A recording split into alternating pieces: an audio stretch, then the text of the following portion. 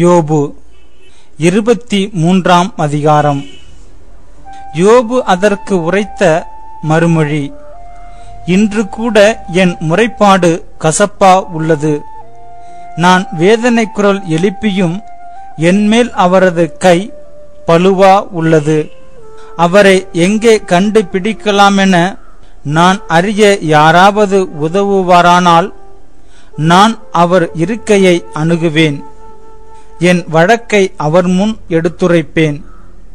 என் வாயை வழக்குறைகளால் நிரப்புவேன். அவர் எனக்கு என்ன வார்த்தை கூறுவார் என அறிந்து கொள்வேன். அவர் எனக்கு என்ன சொல்வார் என்பதையும் நான் புரிந்து கொள்வேன். மாபெரும் வல்லமையுடன் அவர் என்னோடு வழக்காடுவாரா? இல்லை அவர் கண்டிப்பாக எனக்கு செவி கொடுப்பார். அங்கே நேர்மையானவன் அவரோடு வழக்காடலாம்.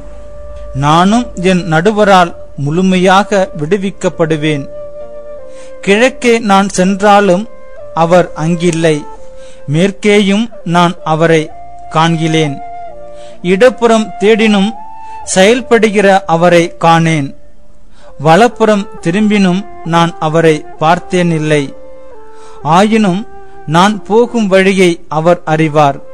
என்னை அவர் புடமிட்டால் நான் பொன் போல் துலங்கிடுவேன். அவர் அடி சுவடுகளை என் கால்கள் பின்பற்றின. அவர் நெறியில் நடந்தேன் பிறழவில்லை.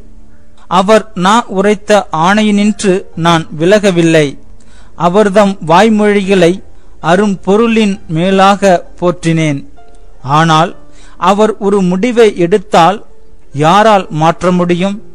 ஏனெனில் எதை அவர் விரும்புகிறாரோ அதை அவர் செய்கிறார். ஏனெனில் எனக்கு அவர் குறித்துள்ளதை அவர் நிறைவேற்றுவார். இத்தகையன பல அவர் உள்ளத்தில் உள்ளன. ஆகையால் அவர் முன் நடுங்குகின்றேன். அவரை பற்றி நினைக்கையில் திகிலடைகின்றேன். இறைவன் என்னை உளம் குன்ற செய்தார். எல்லாம் வல்லவர் என்னை கலங்க செய்தார். ஏனெனில் இருள் என்னை மறைக்கிறது. காரிருள் என் முகத்தை கவ்வுகிறது.